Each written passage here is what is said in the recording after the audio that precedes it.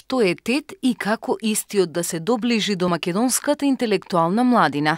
Интерактивна дискусија на тема современиот дигитален свет. Поинаква перспектива и начин на кој дигиталните медиуми влијаат врз нашиот живот.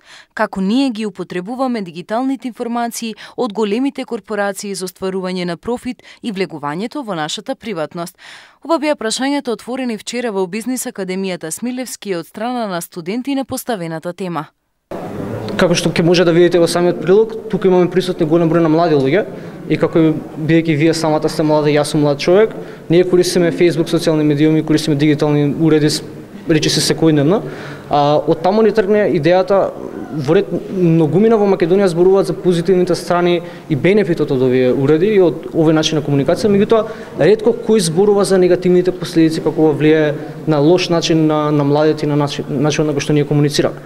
Од тука тргна идејата, понатаму ја надополнивме со нашите експерт гости со нивни мислења а, и веруваме дека ова е нешто кое што е потребно да се дискутира во Македонија. Е ретка тема, тема која што не е дискутирана и затоа се решиме да донесеме тука во Битол и да видиме што битолчаните ќе кажат нова. Како единствена високообразовна институција од областа на професионалниот оперативен менеджмент, БАС своите студенти ги поддржува во развојот на креативните идеи, кои како во случајов се преточуваат и во проекти. Бизнис Академија Смилевски во својата наставна програма развива вештини кај своите студенти, кои што истите тие практично можат да ги применуваат. Овде директно ќе видите како наши студенти применуваат, применува знаење од областа на преговарањето, лобирањето, менторирањето.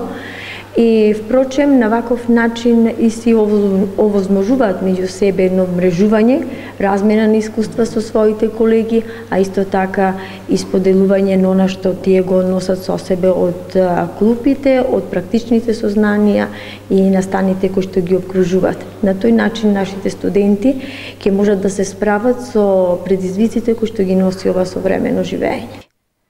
Настани од ваков тип досега биле организирани 4, а се планираат уште две до крајот на годината, и тоа на тема Open Date и климатски промени.